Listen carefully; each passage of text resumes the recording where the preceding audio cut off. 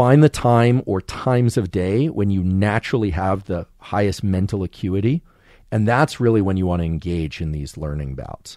And then get to the point where you're making errors and then keep making errors for seven to 30 minutes. Just keep making those errors and drill through it. And you're almost seeking frustration. And if you can find some pleasure in the frustration, yes, that is a state that exists. You've created the optimal neurochemical milieu for learning that thing. But then here's the beauty of it you also have created the optimal milieu for learning other things afterward.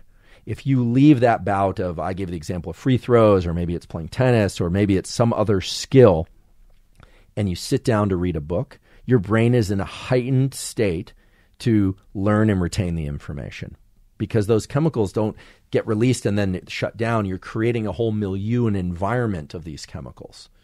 And the tail of how long these chemicals stay, uh, you know, sloshing around in your brain has too many factors for me to put a hard number on it. It's going to depend on transporters and enzymes and all sorts of things. But at least for an hour or so, I would say, you're going to be in a state of heightened learning and the ability to learn not just the motor patterns, but cognitive information, language information. Maybe you go to therapy right after that and you work on something in a very deliberate way that you're trying to, to work on. Maybe you don't go to therapy, maybe you do something else um, that's important to you.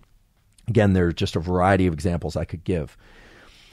There are a number of things that allow us to powerfully access these states of error that are kind of surprising but also kind of fun.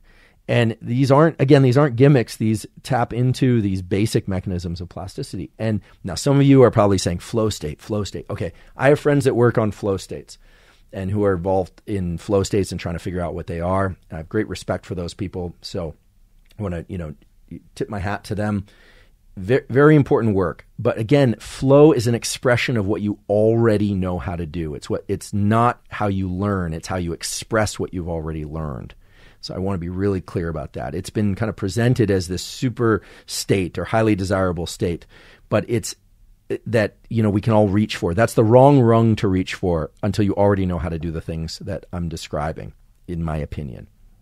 So the vestibular system, if you can engage the vestibular system and create some errors within the vestibular motor operations that you're carrying out, you create a neurochemical state that then makes you very, very good at learning very quickly, regardless of age. So, what would this look like? Does this mean just doing inversions? Well, does this mean doing yoga? Maybe. Does this mean um, taking uh, corners faster on your road bike? Does this mean um, let's say you always swim freestyle or breaststroke. Does this mean swimming, uh, you know, uh, backstroke or butterfly? It depends. It depends, however, on a very very easy to understand parameter, which is how regularly you perform a particular motor behavior and how novel a behavior is. So, the more novel that a behavior is in terms of your relationship to gravity, the more it will open up the opportunity for plasticity. Have you ever seen somebody who just jumped out of the plane for the first time, you know, with a with a parachute? I, I don't even want to think about what if you've just seen somebody who jumped out of a plane for the first time without a parachute. I would just hope the plane was on the ground. But if you've seen somebody after that, they are in this incredible state because their body and brain are flooded with all these neurochemicals because it's very novel to them.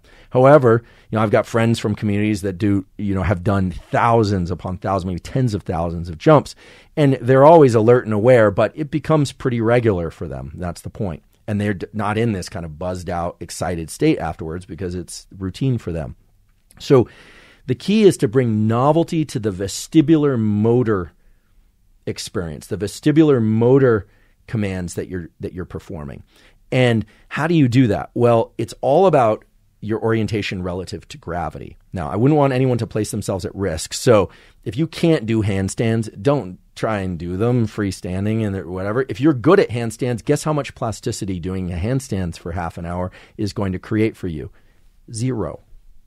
Zero. Your body is fully comfortable walking on your hands. I see these people walking on your hands, being upside down, being inverted. You know, your Cirque du Soleil performers, they're very comfortable there. And there's zero learning, zero plasticity because the failures and errors and the relationship to gravity are very typical for that individual.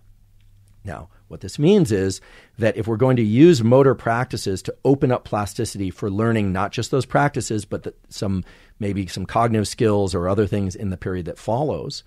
We need to create a sense of novelty relative to gravity. And that means being either in a new position or slightly unstable. Believe it or not, this sensa- I don't want anyone injuring themselves, but the sensation of, of falling or close to falling signals the cerebellum to signal the deep brain centers that release these neurochemicals that something is very different and we need to correct this error very, very fast.